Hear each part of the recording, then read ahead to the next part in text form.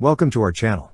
Don't forget to subscribe and put likes, because your support is important for us. And here we go. Recent developments in UK defence strategy signal a significant shift towards rapid deployment of cutting-edge technologies, as evidenced by the accelerated development and potential deployment of the Dragonfire laser-directed energy weapon system.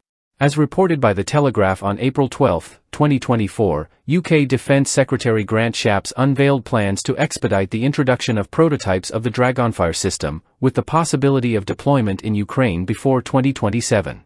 Shapps emphasized the UK's commitment to advancing its military capabilities by adopting a new procurement model that prioritizes the swift integration of minimally viable technologies, which are then refined during service. This agile approach aims to address previous challenges, such as inter-service competition and project delays, by providing military personnel with immediate access to essential tools while allowing for continuous improvement based on operational feedback.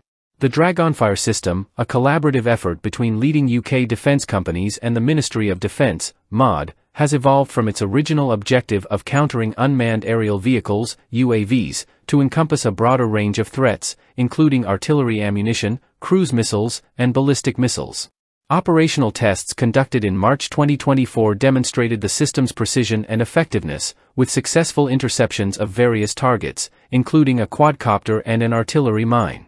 Technologically, the Dragonfire system integrates advanced laser technology, with 37 laser beams configured to amplify destructive potential.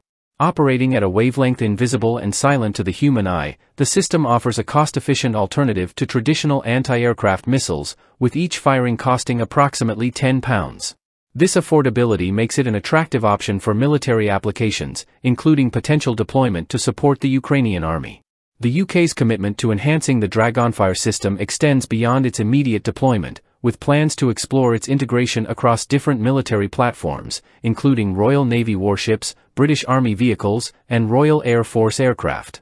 Continued development and testing aim to optimize the system's size, weight, and power requirements, further enhancing its deployability and operational effectiveness. In conclusion, the UK's expedited deployment of the Dragonfire laser weapon system reflects a strategic shift towards agile defense procurement and technology integration. With potential deployment in Ukraine on the horizon, the Dragonfire system represents a pivotal advancement in military capabilities, offering a cost-effective and versatile solution to emerging threats in modern warfare. That's all for now. See you later.